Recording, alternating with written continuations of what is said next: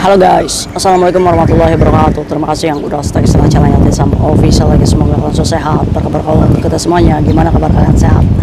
Alhamdulillah berjalan kesam waras Masih Allah kasih mendoakannya lagi sakit. Allah sehatkan. Semoga saya berjuang dan memajikan. Tentunya diberikan kekuatan sampai ini Semoga saya bahagia juga. Tentunya jangan lupa bersyukur.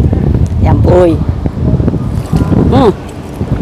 Hari ini cuaca panas banget cuy. Wis siap-siap kulit kita eksotik wes masya allah.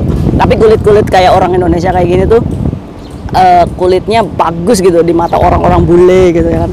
Makanya kenapa orang bule tuh carinya kalian-kalian yang kulitnya eksotik gitu. Wes mantap.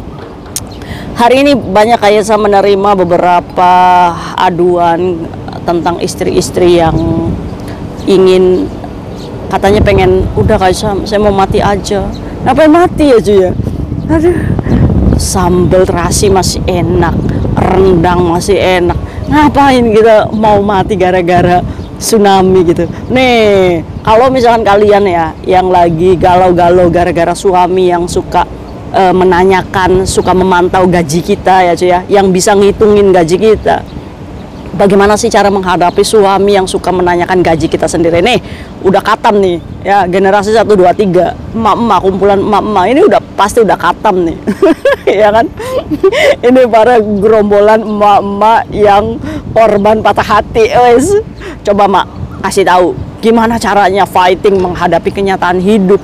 Ya kan? Ih males banget Ria Ricis aja apa namanya bisa mengambil keputusan untuk mengambil satu anak tanpa suami ya kan lah kita ngapain juga kita pusing-pusing ya kan Oke cuy, kita mendengarkan prahara rumah tangga teman kita ya. Menurut kalian apa sih yang harus dilakukan mbaknya? Karena mbaknya merasa saya itu uh, sesek ayat dada saya itu. Saking seseknya saya pengen mati aja. Kalau mati kalian bisa ngubur sendiri ya nggak apa-apa, jangan merepotkan orang ya ya gali kubur sendiri wis blusuk aja sendiri situ. Kalau ujung-ujungnya kalian merepotkan ya buat apa gitu kan? Ya kan? Aduh ada-ada aja ini mama ini. Oke Joy. Jadi si pekerja migran ini punya rumah di tanah mertuanya. Satu itu ya.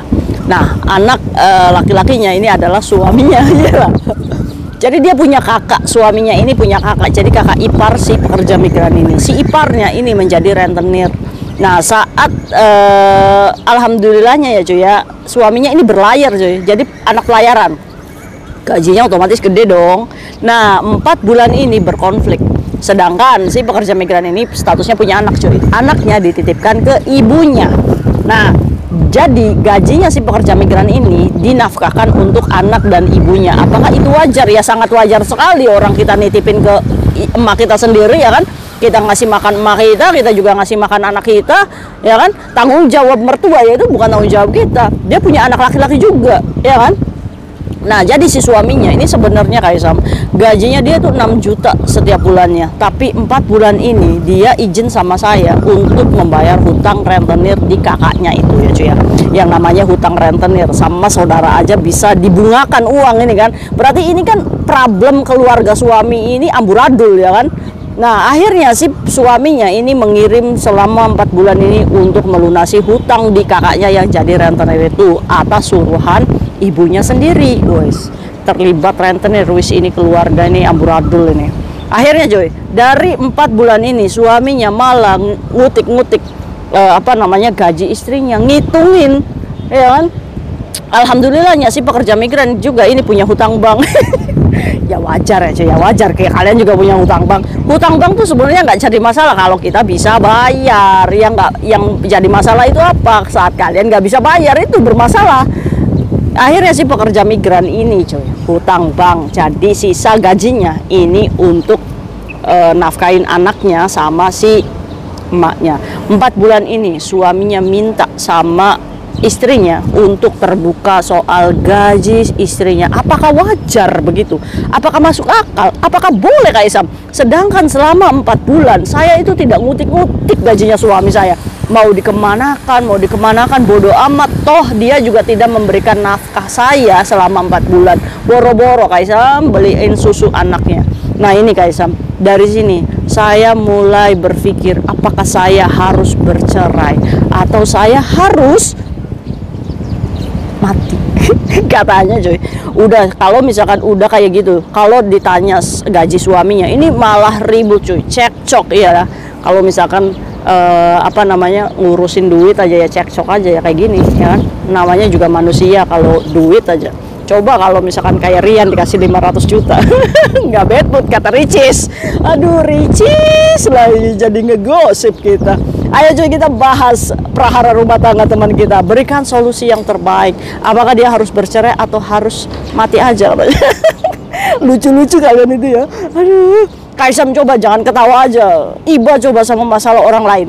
Saat kita sudah bisa menertawakan masalah cuy berarti kita ini sudah di tahap ujian yang gede gitu ya kan? Aduh. Oke. okay. Ayo kita bahas kasusnya mbaknya. Gini aja ya. Kalau misalkan kita berbicara kematian semua orang juga pasti akan meninggal iya kan? Tapi pilihlah meninggal itu dengan cara yang baik. Kita masih dikasih umur panjang. Berarti Allah ini masih menginginkan kita untuk berjuang dengan ujian-ujian hidup ya kan? Apalagi kamu posisinya sebagai seorang istri. Diuji suami seperti itu. Pilih solekah atau belangsak nih kayak Tisam tidak bisa menyarankan kalian untuk bercerai karena urusan rumah tangga ini ya urusannya habrumin Allah antara kamu suami dan Allah tapi ya kamu juga punya apa namanya batasan diri sendiri kalau misalkan masalah gaji istri, apakah wajar suami itu menanyakan? Kalau menurut Kaisam itu ya sangat tidak wajar sekali. Karena apa? Karena suami kita yang mengajarkan untuk uh, pelit sedari awal. Empat bulan ini kan suaminya sudah pelit sama istrinya ya. Suami kayak gitu cuy, nggak usah diladenin ya cuy ya. Tinggal ngomong aja, oh papa, papa sayangku, kan mama nggak pernah nanyain gajinya papa selama empat bulan masa nanyain ya kan kita punya anak loh kita juga punya orang tua yang harus dinafkahi jadi cuy piciknya suaminya ini kalau misalkan e, ngasih orang tuanya ini nggak boleh katanya cuy udah cukup kamu itu cuma e, nafkahin anak kita aja di sana. Terus sisanya kamu simpan, tabung uangmu selama kamu kerja di Hong Kong. Saya nggak terima kayak di situ. Dia tuh boro-boro punya otak gitu. Mungkin otaknya udah mabur-mabur karena pelayaran ya ada suami kayak gini ya kan? Duitnya dianya untuk bayar utang di kakaknya memperkaya saudaranya sendiri. Ini istrinya suruh pelit sama keluarganya. Wis ini bermasalah ini. Nah ini ya. Kadang ego kita kalau misalkan kita juga sudah bekerja sendiri menghasilkan uang sendiri kadang kita juga lupa ya di situ. Cuma saran kayak Tisam dahulukan kebutuhan anak dulu ya kan? Walaupun suami kayak gitu sebenarnya dalam uh, agama pun tiga bulan ini suami tidak memberikan nafkah ya udah termasuknya talak ya jatuh talak gitu cuy. Bener nggak sih? Iya. Jadi buat itu ya cuy ya. Jadi biarkan aja suami kita itu bertindak bagaimana karena dia adalah pemimpin keluarga. Yang harus kita selamatkan adalah masa depan anak kita. Kita nggak bisa mengandalkan suami yang seperti itu. Jadi saran kaisam ya cuekin aja. Ya. Jadi ya jangan ikut campur tentang uang saya karena kamu yang mengajarkan uang kamu uang kamu uang saya uang saya. Ya kan? Kalau misalkan hanya hanya sebatas uh, ngasih uang rokok ya kasih aja satu juta kek atau 500 ya kan? Ya tapi kalau misalkan hanya karena ini kalian mau mengakhiri hidup aduh sayang banget. Kita bisa berhasil dengan kerja keras di sini. Kita bisa membuktikan bahwa anak kita ini nggak tahu ke depannya nasibnya akan menjadi presiden atau apa ya cuy ya. Maka dari itu Kaisa mohon stop untuk pesimis. Stop untuk menganggap bahwa hidup kamu adalah hidup yang paling berat. Bayangkan di rumah sakit saat ini ada penderita kanker yang berjuang untuk tetap hidup. Nah kamu cuma dikasih masalah segini aja udah menyerah, nangis sudah satu ember, nangis sudah beberapa paso gitu kan, sayang sayangin hidup gitu, ya kan? Wih sini sama Kaisam, dengerin Kaisam. Sekarang fokus karena kamu masih dalam kontrak kerja dengan majikan, profesional kerja. Jangan campur adukan masalah keluarga sama kerjaan kalian di sini jadi fokuskan satu-satu. Biarkan aja suami berlayar, berlayar, kecangkol, kecangkol sama perempuan lain silahkan aja. Yakin kita gantungan jodoh sama Allah. Ya Allah jagalah suami saya. Kalau misalkan memang dia jodoh saya, lancarkan rezekinya, selesaikan pemasannya. Itu hanya sebatas istri itu mendoakan karena istri soleh itu ya cukup mendoakan saja. Ya kan? Kita nggak bisa menggegam suami kita yang sedang berlayar. Kita nggak bisa menyuruh suami kita untuk tidak berselingkuh ya kan karena ini di luar jangkauan cuy. Kalau sinyal handphone mah terputus gitu. Jadi kita udah jalur langit. Jaga kalau dia macam-macam ya Allah wis lentik aja. Canggih aja. Kalau enggak ceburin aja ke laut. Nah kitanya nih sebagai seorang ibu fokuskan suami seperti itu abaikan dulu. Skip dulu lah cuy.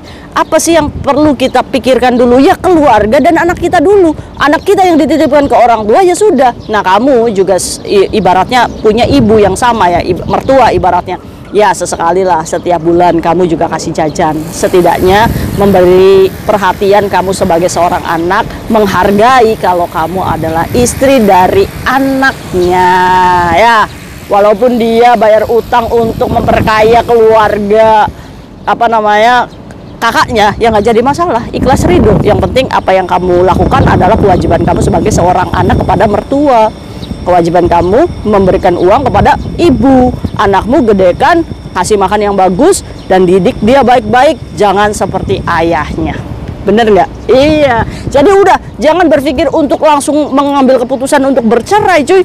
Udah biarin aja berjalannya waktu. Toh kamu juga masih terikat dalam kontrak kerja. Kalau misalkan kamu masih nyaman kerja di sini, ya kerja terus, kerja terus, kerja terus. Walaupun lelah, lelah itu hanya pemikiran kita aja yang terlalu berlebihan. Jadi timbulnya apa?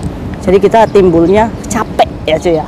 Maka dari itu bahagiakan diri sendiri, makan makanan yang enak, minum minuman yang enak, bersyukur Alhamdulillah ya Allah terima kasih. Engkau masih memberikan saya umur yang panjang masih memberikan saya gaji sehingga anak saya masih bisa makan. Cukup. Jadi suami jangan dipikirkan jangan dipikirkan. Dia sudah gede dia juga sudah punya tanggung jawab. Biarkan dia menentukan hidupnya sendiri. Kalau dia bisa membimbing kamu sebagai istri tapi kalau misalkan sekalinya dia sudah melarang apa pun dengan uang istri itu nggak baik. Nah menurut agama itu kan uang suami uang istri uang istri ya uang istri itu bagus tuh prinsipnya ya. Jadi kalian nggak usah pusing-pusing ya. Jadi tinggal ngomong aja sama suami mama kamu gajinya ditabung ya mah nah kamu tuh jangan terlalu banyak-banyak ngasih e, ibumu. Ngitung 10 juta gaji ngomong aja sama suamimu. Papa maaf urusan uang mama mama handle sendiri ya kan? Mama tunggu gaji papa masuk ke rekening mama. Wis gitu aja kalau misalkan dia marah bodoh amat ya yang penting kita tidak memulai karena kita hanya mengikuti bagaimana cara suami kita mengajarkan kepada kita tetap cuy dekatkan diri sama Allah tetap doakan sebagai istri yang soleh untuk keselamatan suami kita oke okay? jangan sedikit-sedikit bercerai jangan sedikit-sedikit bercerai ya gini berpikirnya kalau misalkan kita sedikit-sedikit ngomong cerai, cerai, cerai. Nauzubillah min dalik ya cuy ya. Umur kita masih panjang, yang cerai apa takutnya? Rezeki kita. Yang cerai apa takutnya? Kesehatan kita. Ya. Jangan ya. Kamu mau diuji lebih lebih banyak nggak sama Allah? Maka dari itu hindari kalimat ya udah ceraikan saja. Ya udah cerai aja. Jangan ya. Kitanya masih umur panjang gitu. Tiba-tiba rezeki kita dicerai sama Allah. Oh kita nangis-nangis di situ. Maka dari itu hindari perkataan yang tidak baik. Oke? Okay? Next video. Bye bye. Assalamualaikum warahmatullahi wabarakatuh. Menurut kalian gimana kalau jadi mbaknya? Apa yang harus dilakukan? Ataukah harus terbuka sama suami tentang gaji kita? Atau diam-diam baik? Ayo coba mama kasih tahu ya. See you next video. Bye bye. Assalamualaikum warahmatullahi wabarakatuh. Bye.